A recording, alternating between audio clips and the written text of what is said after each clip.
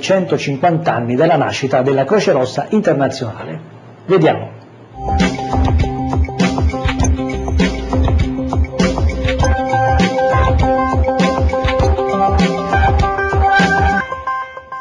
Abbiamo in studio l'onorevole Antonio Mazzocchi, esponente del Popolo delle Libertà e questore della Camera. Onorevole Mazzocchi, innanzitutto qual è l'attività di un questore?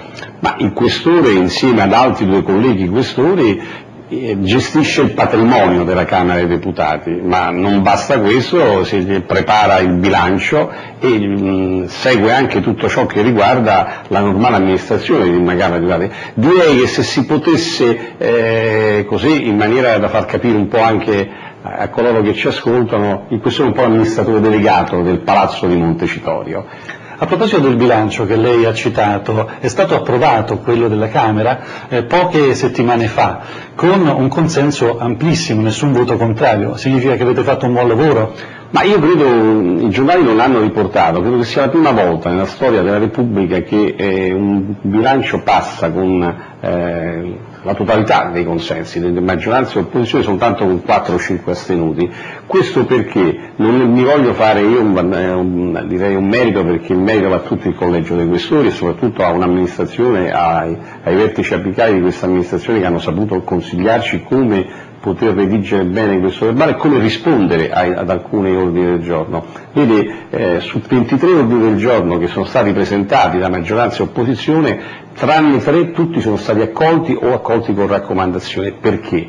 Perché erano tutti eh, ordini del giorno che miravano a sì a un contenimento della spesa, ma sempre a un miglioramento dei servizi. E su questa, eh, su questa indicazione, che tra l'altro il Presidente della Camera Fini ci ha dato, noi abbiamo fatto in modo non soltanto che per la prima volta, sempre nella storia della Repubblica, questo bilancio si chiudesse con un avanzo ben sostanzioso e con dei fondi di riserva ben sostanziosi, ma dire soprattutto abbiamo fatto in modo che alcuni così, eh, punti molto criticati, eh, giustamente o ingiustamente, non lo sta a me dirlo dall'opinione pubblica, sono stati affrontati e risolti in maniera positiva. Ecco, c'è un elemento eh, importante, saliente forse, per quanto riguarda i costi, cioè che la Camera nei prossimi anni non costerà di più allo Stato, c'è un blocco diciamo così, della dotazione? Sì, noi, noi eh, già abbiamo detto che per i prossimi tre anni noi non chiederemo neanche una lira del famoso adeguamento annuale che la Camera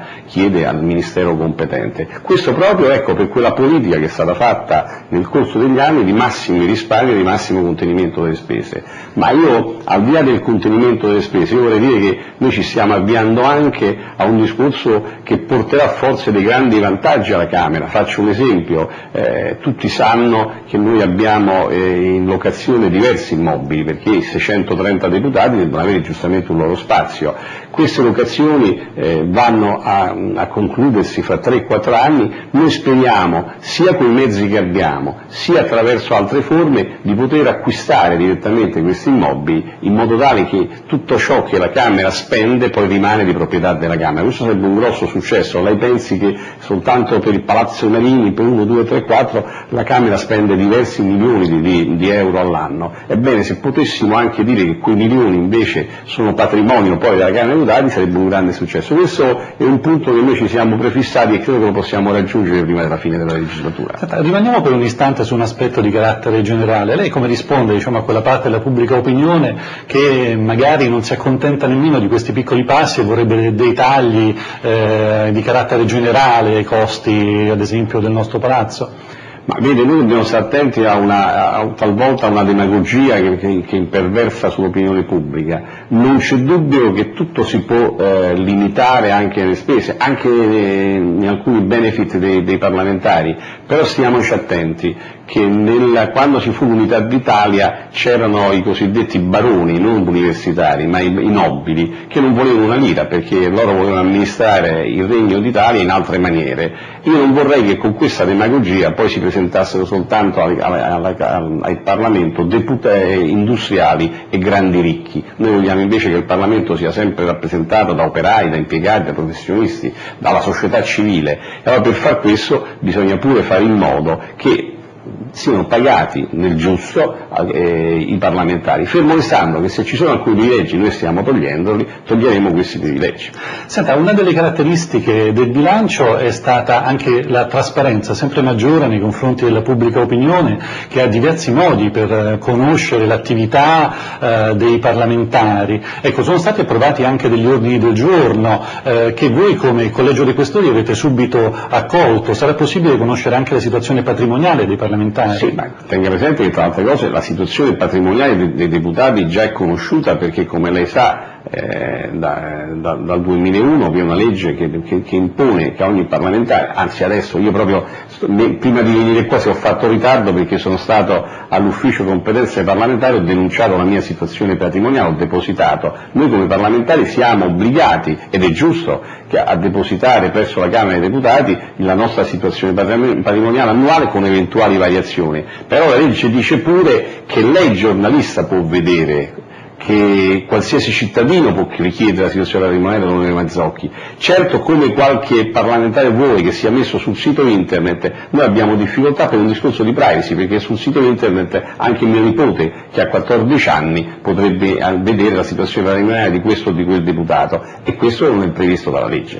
Sta diminuendo anche il numero dei dipendenti della Camera dei Deputati con il blocco del eh, turnover, eh, questo può comportare dei rischi eh, di minori prestazioni, diciamo? No, perché nelle indicazioni che ci ha dato il Presidente Fini credo che sia utile un blocco del turnover ma selettivo. Che cosa significa selettivo? Che lì dove ci sono delle esigenze di riqualificazione noi possiamo prendere del personale e riqualificarlo e anche casomai assumerlo da graduatorie. È evidente però che alcune eh, eh funzioni di, di, personale, soprattutto esecutivo, io credo che alla lunga debbano essere esternalizzate. Noi dobbiamo diminuire i costi dell'amministrazione e aumentare sempre però di più l'efficienza di questa amministrazione. Eh, ci sono dei gradi apicali che vanno non bene benissimo, ci sono dei funzionari squalificati, dobbiamo potenziare proprio ecco, questa parte dell'amministrazione. Ecco, tra Presidenza e Collegio dei Questori, Ufficio di Presidenza, avete da tempo affrontato anche il nodo dei cosiddetti portaborse che ormai con il mese di luglio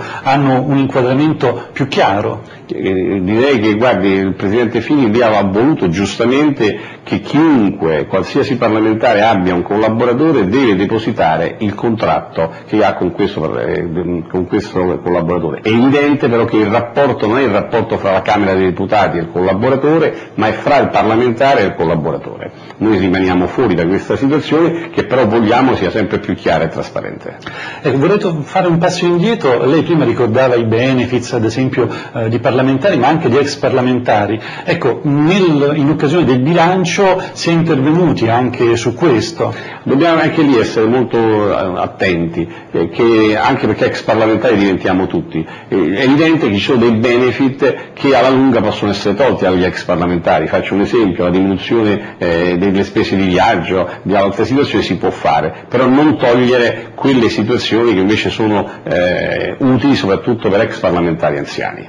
Eh, onorevole Mazzocchi, noi non possiamo concludere questa conversazione senza parlare eh, del mezzo che ci ospita, il canale satellitare e del web. La Camera ha fatto dei passi veramente importanti in quest'ultimo anno, eh, sempre più le attività è possibile eh, seguirle sul web o sul canale.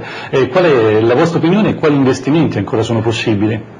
Questa è stata una scelta positiva, noi ci auguriamo di migliorare sempre più perché attraverso questa scelta finalmente abbiamo già risposto i cittadini sono più vicini alla politica e questo è un dato positivo. Bene, ringrazio l'onorevole Mazzocchi, esponente del Popolo della Libertà e questore della Camera dei Deputati.